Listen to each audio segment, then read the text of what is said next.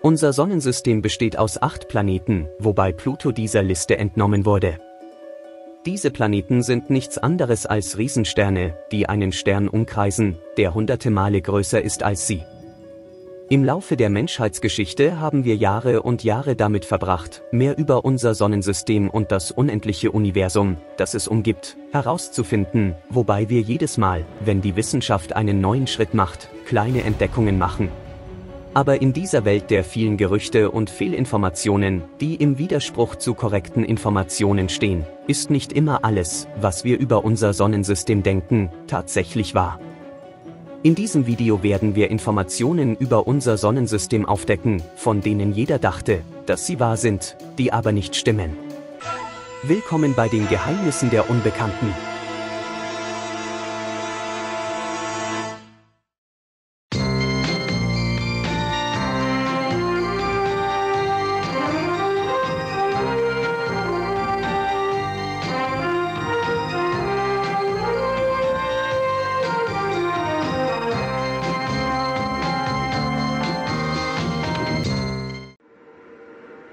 Ist die Erde rund? Eine Unwahrheit, die schon immer verbreitet wurde, ist die Tatsache, dass die Erde rund ist.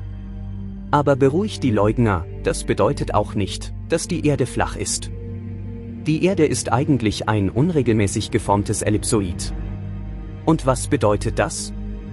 Im Grunde leben wir auf einem ovalen Planeten. Außerdem verändert sich die Form der Erde ständig durch Gezeiten, Vulkanausbrüche, Erdbeben und andere geologische Phänomene. Sind die Kanäle auf dem Mars echt? Im Jahr 1877 zeichnete der italienische Astronom Giovanni Schiaparelli durch sein Teleskop eine Marskarte mit einem komplizierten Netz von geraden Linien, die die Oberfläche des Planeten durchziehen, und nannte diese Linien Kanäle, was auf Italienisch Flussbetten oder Furchen bedeutet. Damit begann die damalige Gesellschaft über die Möglichkeit zu spekulieren, dass diese Kanäle ein Beweis für die Existenz von intelligentem Leben auf dem Mars sein könnten, da sie dazu dienen würden, Wasser von den Polen zum gesamten Planeten zu transportieren, um seine Bewohner zu versorgen. Viele Astronomen sahen jedoch keine Kanäle auf der Oberfläche des Planeten, was sie zu der Annahme veranlasste, dass alles nur eine optische Täuschung war. Heutzutage haben uns mehrere Sonden bereits viele Details über die Oberfläche des roten Planeten geliefert, und es wurde nie eine Spur gefunden, dass diese Kanäle jemals existiert haben. Besteht der Jupiter nur aus Gas? Jupiter ist der bei weitem größte Planet in unserem Sonnensystem. Im Gegensatz zu dem, was viele Menschen denken, ist der Jupiter kein felsiger, fester Planet, sondern ein Gasplanet. Vor diesem Hintergrund sind viele Menschen zu der Überzeugung gelangt, dass es möglich wäre, den Planeten mit einem Raumschiff in der Mitte zu durchqueren, wenn wir dorthin reisen könnten. Selbst wenn man außer Acht lässt, dass der Jupiter 370 Kilometer dicke Gasschichten hat, muss man bedenken, dass im Inneren des Planeten ein so großer Druck und so hohe Temperaturen herrschen, dass die Gase zu einer dichten und undurchdringlichen Flüssigkeit werden, ganz zu schweigen von den schrecklichen Stürmen, die sich über Jahrhunderte an der Oberfläche abspielen. Obwohl er also als gasförmiger Planet gilt, ist er in seinen tiefsten Schichten von dichtem, flüssigem Material bedeckt. Ist Merkur der heißeste Planet? Merkur ist ein Kuriosum, denn ein Tag auf Merkur entspricht 176 Tagen auf der Erde, womit der Tag länger ist als das merkurianische Jahr, das etwa 88 Tage beträgt. Da er aber der sonnennächste Planet ist, glauben viele Menschen, dass der kleine Merkur der heißeste Planet in unserem Sonnensystem ist. Diese Information ist jedoch nicht zutreffend.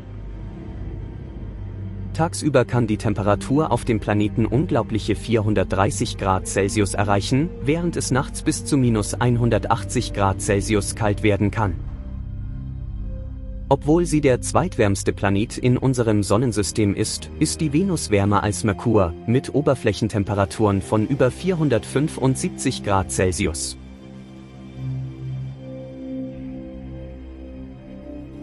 Saturn hat nur drei Ringe,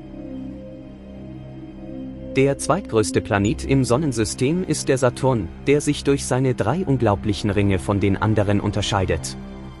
Während der vier Jahrhunderte währenden Studien hatten die meisten Astronomen Schwierigkeiten, Worte zu finden, um dieses Phänomen zu beschreiben und die Zusammensetzung und den Ursprung der Ringe zu verstehen.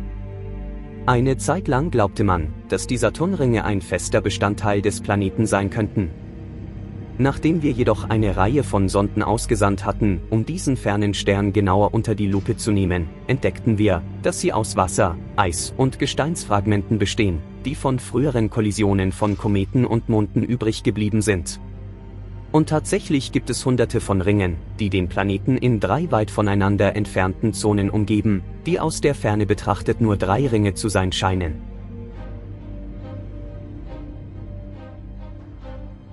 Ist der Uranus ein stinkender Planet? Der 1781 von dem Forscher William Herschel entdeckte Uranus wurde nach der griechischen Himmelsgottheit, dem Vater aller Titanen, benannt.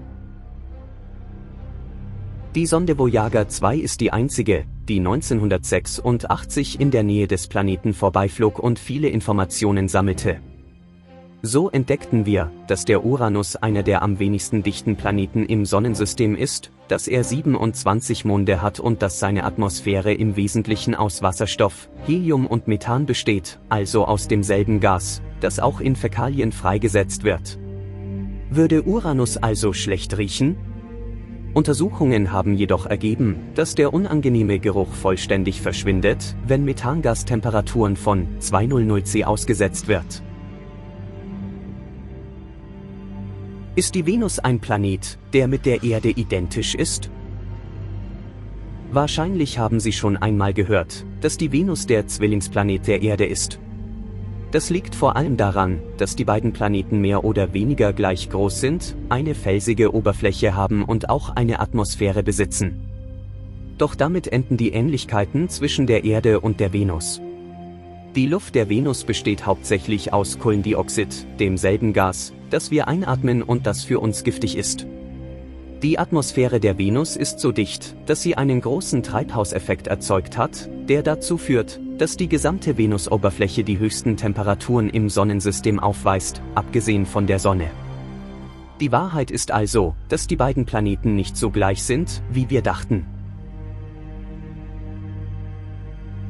Haben Uranus und Neptun genau dieselbe Farbe?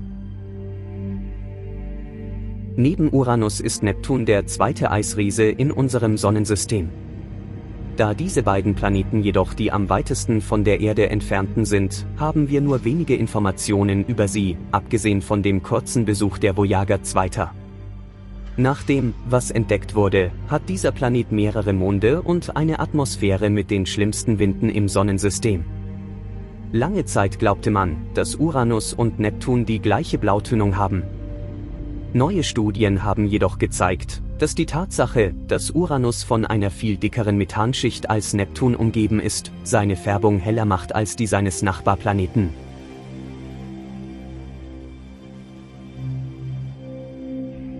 In diesem Video haben Sie gerade einige Unwahrheiten über unser Sonnensystem aufgedeckt.